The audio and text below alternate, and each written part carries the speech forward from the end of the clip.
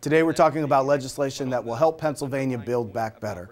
We're talking about legislation to help our business community and to help working families right here in Pennsylvania. For so many years we've heard that Pennsylvania is not a good climate for business, but we also know that at the same time, a lot of our families have been struggling, working two and three jobs to try to make ends meet. So putting forth common sense legislation like this will help Pennsylvanians not only increase our business community and create jobs, but also the quality of those jobs so that Pennsylvanians can have a living wage.